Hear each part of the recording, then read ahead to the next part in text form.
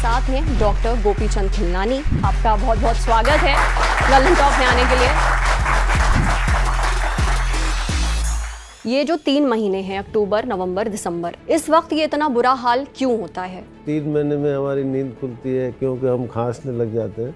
तो एक कबीरदास का दोहा दुख में सुमरन कब करे सुख में करे न कोई अगर सुख में सुमरन तब करे तो दुख का कोई अगर हम एयर पॉल्यूशन को बारह ही महीने कंट्रोल करेंगे तो ये फिर ये हमें ये नहीं देखना पड़ेगा। 1942 में लंदन फॉग आपने सुना होगा उन्होंने देखा कि 12,000 एक्स्ट्रा डेथ्स हो गई। जितनी होनी चाहिए थी उस दौरान उससे ज़्यादा।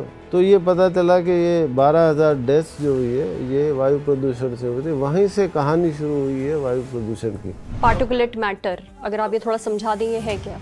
20 साल पहले की बात करें तो हम पी एम टेन की ज़्यादा बात करते हैं बाद में ये देखा गया कि जो P M two point five है वो पार्टिकल्स होते हैं जो कि फेफड़े के सबसे निचले हिस्से में जाते हैं और वहाँ इकट्ठे होते हैं और वहाँ वो डैमेज करते हैं। तो P M two point five आज के समय में सबसे इम्पोर्टेंट पैरामीटर है। आप कह रहे हैं मास्क बिल्कुल काम नहीं करते। कोई चैनल नहीं होगी जिस पे मैं नहीं गया हूँगा ज़ोर ज़ोर से बोलता था कि मास्क पहनो।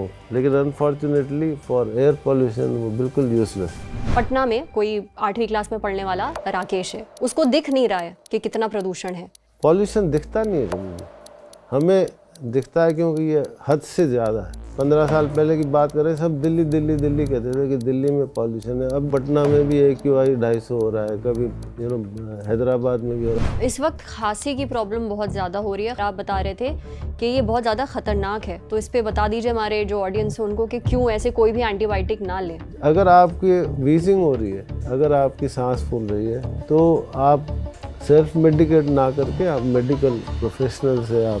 सलाह लें लोग बोतलें की बोतलें कफ सिरप पीते रहते हैं। उनको उससे अब इन दिनों कोई फ़ायदा नहीं हो रहा उससे नहीं अगर आप नहीं जा सकते कहीं तो क्या तरीक़े हैं जिससे आप एटलीस्ट अपने फेफड़ों को थोड़ा बचा के रख सकते हैं इन महीनों में? स्मॉग है ठंड है धुंध है सुबह। तो सुबह वॉक पे ना जाए। सबका कहना यह है कि भाई तुम लोग जो नहीं भी स्मोक करते हो जो इस प्रदूषण में रहते हो उस हवा में रहते हो तुम्हें पता है तुम 21 सिगरेट के बराबर धुआँ तुम्हारे अंदर जा रहा है तो हम सिगरेट पिए या हम सिगरेट ना पिए एक ही बात है। नहीं एक तो आप पीना मत शुरू कर देना। नहीं नहीं। बीस तो वैसे ही पी रहे हो पॉल्यूशन से बीस अपने भी पी रहे हो तो आप अपना ही नुकसान कर रहे हो। बहुत लोग ये भी कहते हैं कि ठीक है स्मोकिंग तो है इंजूरियस टू हेल्थ पर वेपिंग इतना नहीं है। एनिमल्स को वेपिंग करा के उसको जब स्टडी किया तो उनके जो एयरवेज थे उसमें कार्सिन यू नो जो सेल्स है। जो कैंसर प्रोड्यूस करने हाँ, वाले सेल्स हैं। हाँ वो शुरू हो गए थे बनना ध्यान देने वाली बात है।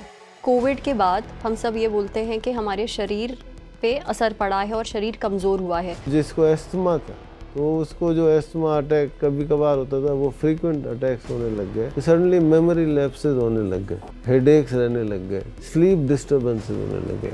या एंजाइटी अटैक्स होने लगे डिप्रेशन होने लगे ये बिल्कुल वो है। ये सब कोविड के बाद बढ़ा कोविड के बाद कोविड के बाद और ये दो दो साल तक चल रहा है। क्या प्रदूषण बढ़ने पर कोरोना के समय की तरह लॉकडाउन नहीं लगा देना चाहिए? बहुत बहुत अच्छा सवाल पूछा है।